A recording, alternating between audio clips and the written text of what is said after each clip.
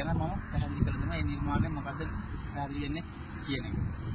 ඒක මත්ස්‍ය නාට්‍යය වගේ ශ්‍රී ලංකා යුද හමුදාවෙන්නේ ඔයගොල්ලෝ සියලු දෙනාම ඉතා ආදරයෙන් භක්තිපූර්වක පිළිගන්නවා. මෙන්න මේ අරිහතනියක් උසැත්තේ අලිමංකට රණවර විශ්මාර්කය ගැන ඔයගොල්ලෝ නොදන්න නිසා මං කැකි පැහැදිලි කිරීමක් කළ දෙන්නම්.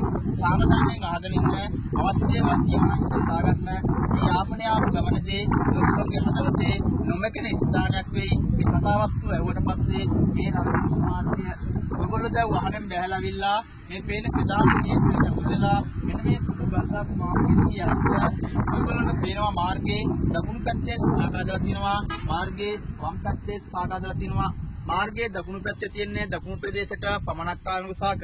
මාර්ගයේ වම් පැත්තේ තියෙන්නේ උතුරු ප්‍රදේශයට පමණක් කාරණක සාක ඊට අමතරව මේ දෙපැත්තේම හදලා තියෙනවා උතුරේ දකුණේ සෑම දේශගුණක කාලගුණක තත්ත්වයක් වගේම වරොත්තු දෙන සාක. ඉදිරියේ අපි ඔයගොල්ලන්ට ලබා දෙන්නේ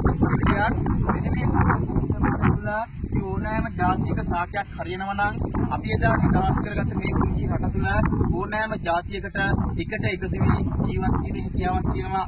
දැන් රට තුළ කිසිම අරගලයක් නැති සාමකාමී වාතාවරණයක් තුළ මෙන්න මේ අපේ හිත් තුළ තියෙන ජාති ભેද ආගම් කුලමල නොසලකා සියල්ලෝම එකට එකතු වී වැඩ කරමු කියන පණිවිඩය තමයි අපි එදා මේ රට ජයග්‍රහණය කරලා මාර්ග හදලා විවෘත කරපු දවසේ ඉඳලා මෙතෙන් එන සිවිල් ජනතාවට ලබා දෙන්නේ දැන් යුද්ධය ඉවරයි අයියේ සියලු දෙනාම අපි ඔක්කොමලා එකට එකතු වෙලා වැඩ කරමු කියන පණිවිඩය තමයි මුලින්ම අපි රණවිරු හැටියට අදත් ඒ එදා දුන් පණිවිඩයම තමයි ලබා දෙන්නේ. ඊට පස්සේ මේ ස්මාරකයේ ආරම්භයෙන් ඔයගොල්ලෝ කියන පහළදීම පියගට පෙළවල් තුනක් නැගලා යන්න ඒ පියගට පෙළවල් තුනෙන් අදහස් කරලා තියෙන්නේ ආමි නේවි එයාර්ෆෝස් කියන මේ ත්‍රිවිධ හමුදාවම එකට එකතු වෙලා මේ මිනිස්සුන්ව බේරගැනීමේ යුද මෙහෙයුම මුලින්ම ආරම්භ කරා කියන එක ඒ කියන්නේ ත්‍රිවිධ හමුදාවම එකට එකතු වෙලා මේ යුද්ධය කරා කියන එක තමයි මිනිස්සුන්ට පැහැදිලි කරලා දෙන්නේ පඩිපෙළවල් තුනේ.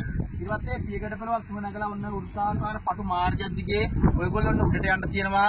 එතකොට ඔයගොල්ලොන්ට දැනේවි මහන්සියක්, අපහසුාවක්, පීඩාකාරී බවක් අපි මේ මාර්ගයේ මේ පටු විදියට සකස් කරලා තියෙන්නේ අපි මේ මිනිස්සුන්ව බේරගැනීමේ යුද මෙහෙයුම ආරම්භයේ සිට අවසානයේ දක්වා යන ගමනදී අපට මුහුණ පාන්නට සිදුවනු ඒ දුෂ්කර බව, වෙහෙසකර බව, පීඩාකාරී බව ඔයගොල්ලෝ චුට්ටක් දැනුවත් කරන්න ඕන නිසා තමයි මේ මාර්ගය අපි මේ ගේට්ටුව ළඟ දෙනම දාලා පටු විදිහට සකස් කරලා තියෙන්නේ. ඒ කියන්නේ මේ මාර්ගය යනකොට ඔයගොල්ලන්ට දැනෙවි මේ ත්‍රිවිධ අමුදා මොනතරම් දුෂ්කර මාර්ගයක ගිහිල්ලාද මේ රට බේරගෙන තියෙන්නේ කියන එක. ඊට පස්සේ මෙතන මේ විශාල පස් පවුරක් තියෙනවා.